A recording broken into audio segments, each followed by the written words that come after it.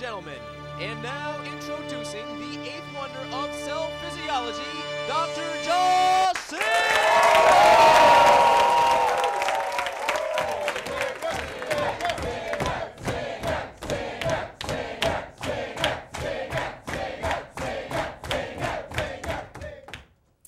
Hi, my name is Dr. Josh Singer, and I'm here with the first year medical school class. And the topic of today's class is ions, ion channels who have lost their potential. Um, today, my first guests are Mr. Calcium Channel and Ms. Calcium Ion.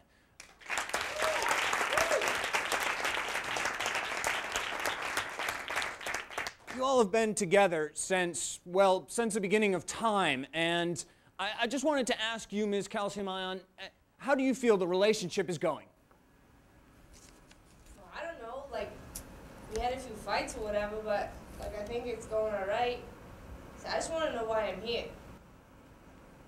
Mr. Calcium Channel, uh, you may have a different perspective on this. What, what's going on here? Well, let me just say, Mr. Dr. Singer. Now, when calcium first started coming through my channel, we were making action potentials at even the slightest of stimulation. But now, the magic is gone. It's just sad.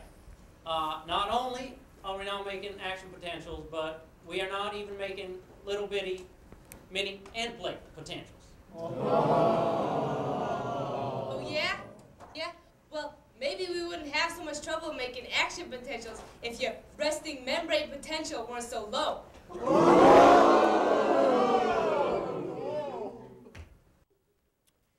Well, our next guest uh, might start to explain a little bit the root of this problem. I'd like to bring out magnesium.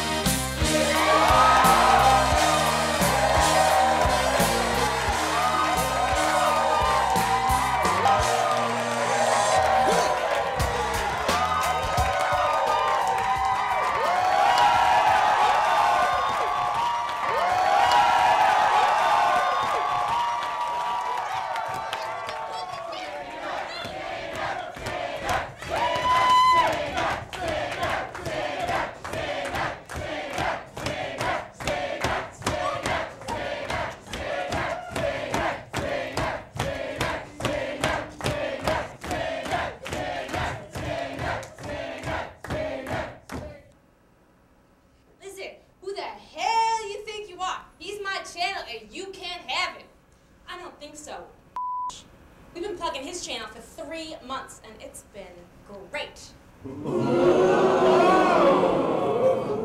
Uh, calcium channel. I I have to interrupt here. Uh, this is this is this is mayhem. I, I don't understand. You and calcium have been together since the beginning of time. You're willing to give this entire relationship up for the sake of a little channel plugging? Could you explain yourself? Now, hold on, Dr. Singer. Now, Calcium and I have been together for a long time, and it's always the same thing contract, contract, contract. An old boy just wants to sit back and relax.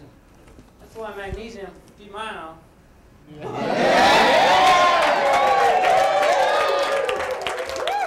yeah? Yeah? Well, I got someone else on the side too. Well, I guess we better bring him out too.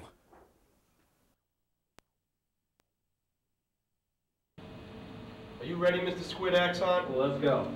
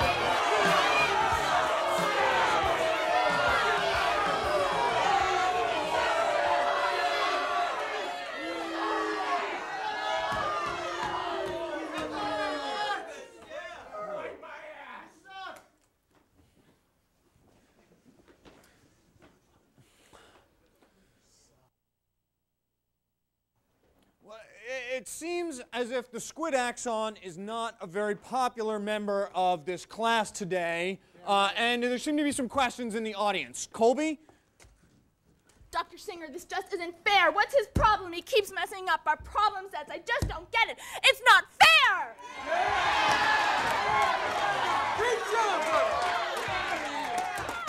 Paul, you have a question back here. Listen, you goddamn squid axon. You've been up our problem sets the whole time I've been here. I'm internal marginal because of your ass. what the is your deal? That's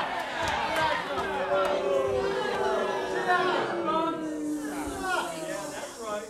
That's right. You stupid first years never could figure me out. I've been fooling y'all for years. I got news for you, all of you, and especially you, dumbass. Inside out the whole goddamn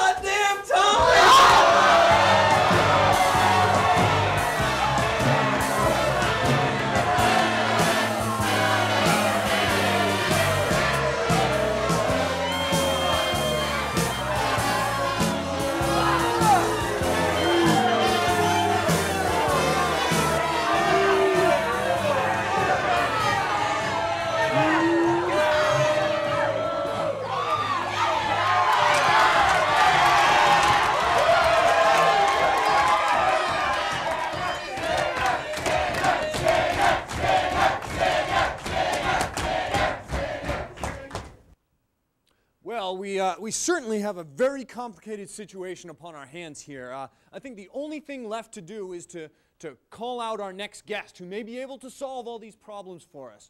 Uh, ladies and gentlemen, I'd like to introduce uh, Dr. John Walsh. Thank you, Joshua. Each of you has played a part in this fiasco, and now, now it's time to take responsibility for your actions. Calcium channel, you need to, you need to decide which ion is has the greatest potential for you, and continue making action potentials for the rest of your life. Mr. Squid Axon, you are despicable. You need to clean up your act and turn yourself around. And as for you, Magnesium,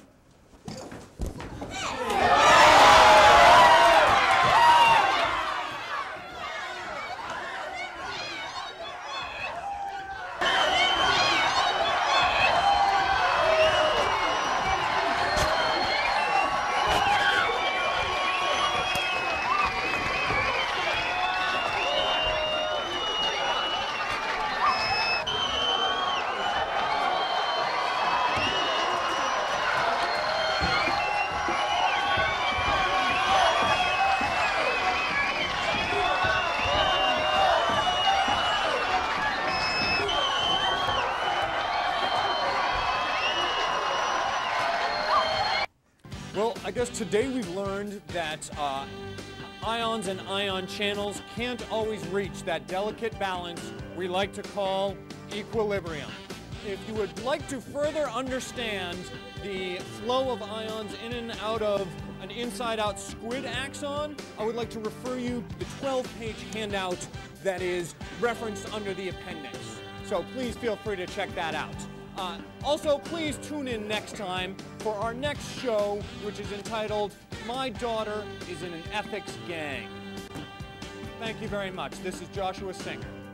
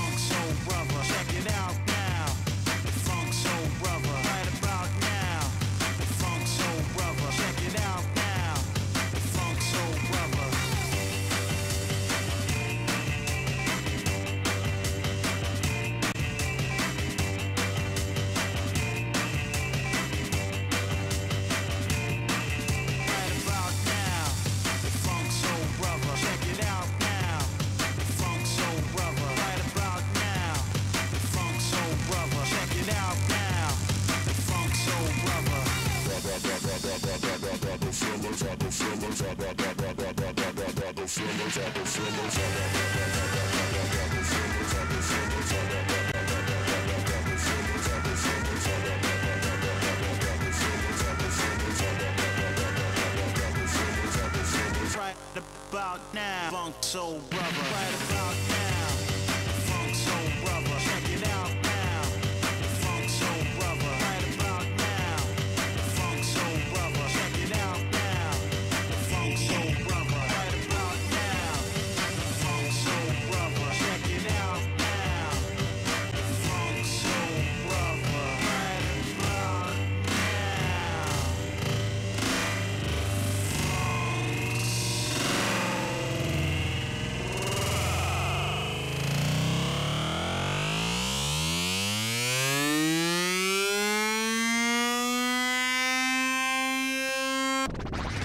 Right about now,